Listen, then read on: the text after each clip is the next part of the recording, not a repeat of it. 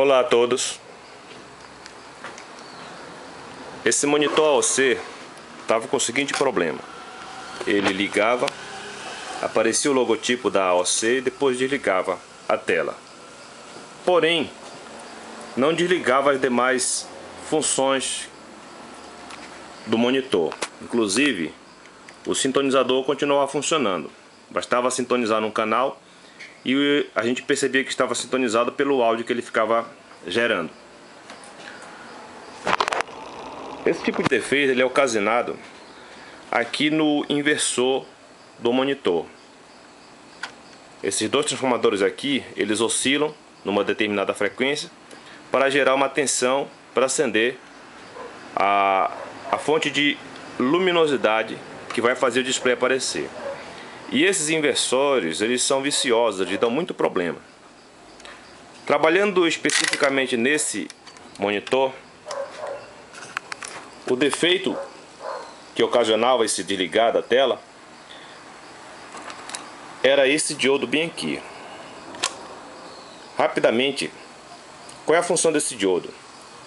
Quando você liga a alimentação aqui no conector, essa alimentação ela estará presente bem aqui. Ela passará por esse circuito integrado, que são transistores, que vão passar por esse essa toroide aqui, um mini transformador, e alimentará o transformador do inversor em si. Porém, essa alimentação ela fica, ela fica sendo monitorada por esse diodo bem aqui, ó. Dos dois lados, se você observar, existem dois diodos que monitoram a tensão de alimentação do inversor nas duas fases. O que ocorre é que quando essa tensão entra no circuito, para ele entrar em oscilação, aqui no caminho dela há um diodo Zener que fica monitorando essa tensão. Se por alguma razão essa tensão aqui se elevar acima de determinado valor, esse Zener conduz gerando um pulso para o controlador, pulso esse que vai desligar, enviar um shutdown por intermédio desses transitores aqui, por esse pino, e vai desligar esse circuito aqui, a alimentação vai parar e o que ocorre é que você vê a tela desligada.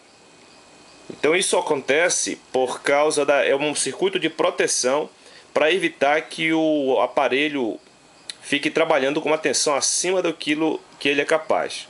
Se alguém porventura colocar uma tensão aqui acima do, da alimentação dele de 12 volts, essa tensão estará presente aqui mas ela não estará aqui no oscilador, senão seria exorbitante a tensão final para acionamento das luminárias das lâmpadas.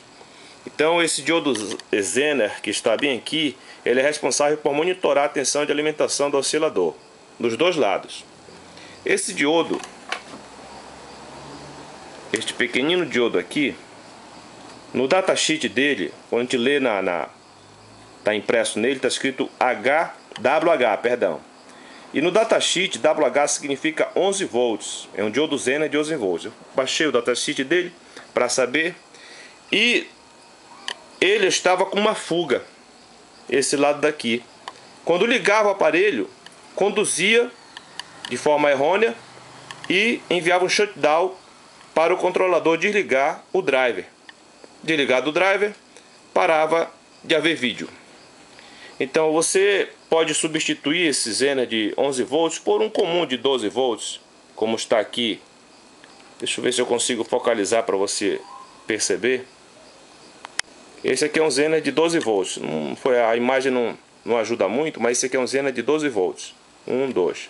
Você coloca ele nessa posição, o catodo dele é para lá, você sabe que o Zener é como se fosse um diodo invertido.